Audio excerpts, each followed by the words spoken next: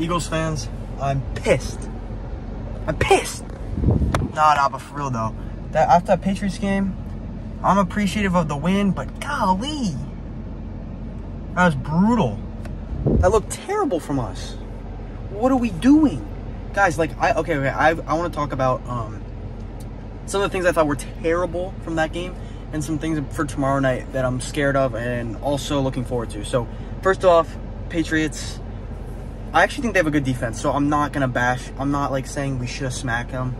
I just think that we left the middle open whole second half. I know Nakobe Dean went out, and that was a really big problem, but that needs to get better. Our linebackers are not good covering, and that needs to improve, especially against better teams. We have a really we have the toughest schedule in the NFL this year, so that's gonna that has to get better. Uh, Reed Blankenship is hurt, Bradberry's hurt, and we're cooked in the secondary against Jefferson and Addison tomorrow.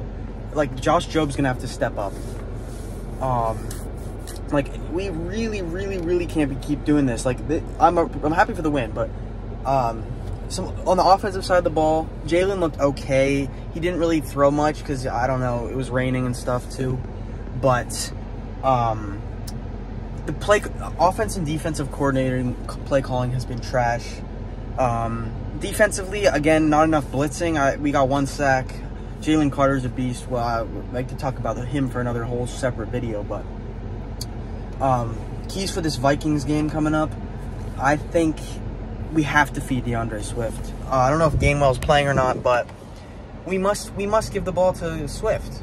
You got to give the ball to Swift, and you got to give it to him early and often to, to establish the run. Their D line isn't really that good, and then on the other side, their O line's not that good. So we should have three plus sacks this game. I say five, four or five is realistic um, goal for for the Eagles in this game tomorrow.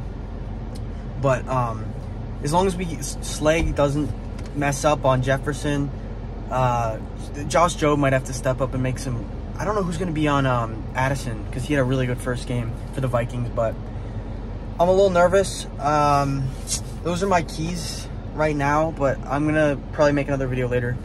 Um, welcome to the channel, by the way. Uh, subscribe if you're new, and I'll see you guys later. Peace.